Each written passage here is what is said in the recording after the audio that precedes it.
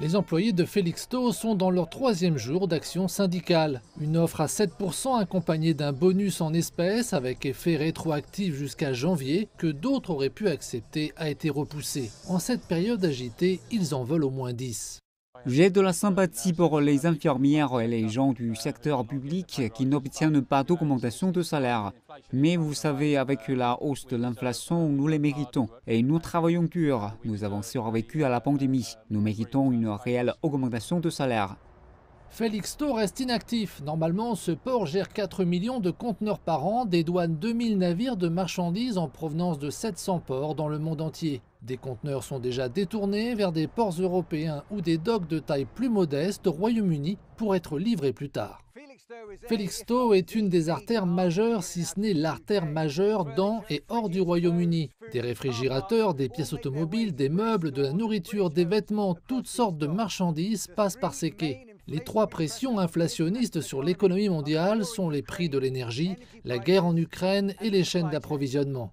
Voici la chaîne d'approvisionnement du Royaume-Uni et elle a été mise en veille.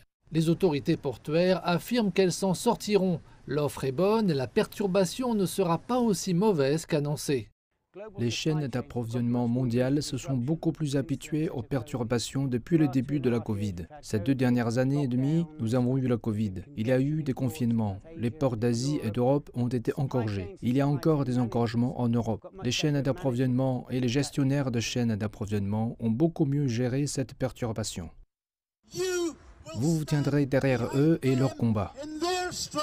Néanmoins, le syndicat Unite the Union, qui organise les grèves, a été accusé d'utiliser ce conflit comme un levier destiné à coordonner d'autres actions de grève ailleurs. Une allégation démentie par le syndicat.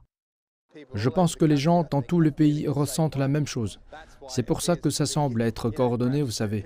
Peut-être que cela paraît être coordonné parce que partout les gens ressentent la même chose et arrivent à la même conclusion. Trop, c'est trop. Nous n'acceptons plus. Adam Searle estime que son entreprise de camionnage perdra 100 000 dollars cette semaine de contrats retardés. Je ne les récupérerai pas, je ne les récupérerai jamais. Je veux dire, c'est juste moi dans la communauté locale des entreprises de transport et d'entreposage. Ça se chiffre à plusieurs millions rien que pour cette semaine et pour le reste du pays. J'ignore le chiffre exact, mais il est bien plus élevé. Il est possible que cela devienne un test pour les membres de Unite the Union et les autres syndicats du pays que d'autres ports et industries surveilleront. Une victoire syndicale ici pourrait motiver d'autres secteurs à négocier plus fort avec des employeurs réticents.